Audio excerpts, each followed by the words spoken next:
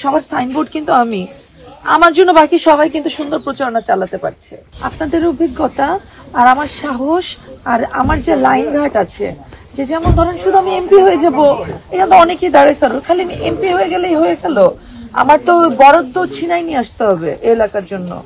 আমার তো ধরেন এলাকায় যা লাগবে, এগুলো তো আমার সচিবালয় থেকে নিয়ে আসতে হবে। এই যে একটা লাইন ঘাট, এগুলোর জন্য যে যে সাহস বা আমার এলাকায় কেউ চাইলে যে সাহসিকতা দরকার। আমি একটা মেয়ে মানুষ হয়ে আমার আমি বুঝি আমার সেটা আছে। শুধু যদি আপনাদের পরামর্শ থাকে আমার পাশে আপনারা মুরব্বীরা আমার সাথে থাকেন, তাহলে আর কোনো প্রয়োজন আমার নেত্রী, জননেত্রী শেখ হাসিনাকে ভালোবাসি। আমার দশ বাংলাদেশ আওয়ামী লীগকে ভালোবাসি। কাজে আমাদের দলে থেকে জমিদারি প্রথা বা অন্য কোনো প্রথা কায়েম হতে দেওয়া উচিত হবে না বলে আমি সবসময় এটা বলছি। এটাই আমার আমি সবসময় এটাই বলছি যে এখানে জমিদারি প্রথা চলবে না। একটা এমন একটা ব্য- অবস্থা করে রেখেছে। ধরেন বাকি যারা এখন নির্বাচন করছে সবাই কিন্তু সবার সাইনবোর্ড কিন্তু আমি। আমার জন্য বাকি সবাই কিন্তু সুন্দর প্রচারণা চালাতে পারছে। জি। পারছে না? আপনারা কি একমত আমার সাথে?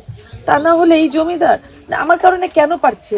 কারণ আমি একজন মানে আমার স্বার্থে সবসময় যে মিডিয়ারা থাকে বা এই এলাকায় যদি কোনো প্রার্থীর কোনো ক্ষতি করতে চায় এটা কিন্তু সারা বাংলাদেশ জানবে। জানবে না?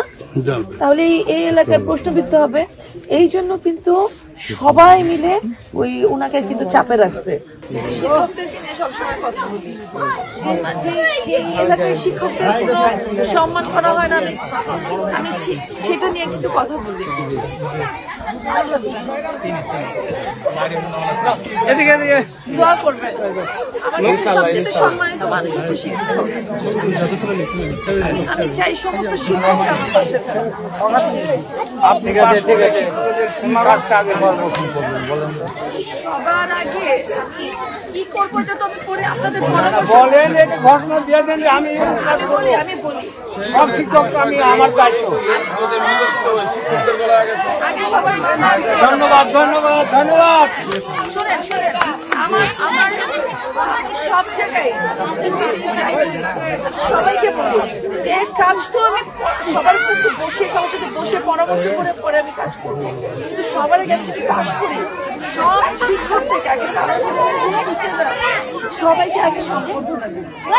তারপরে কাজ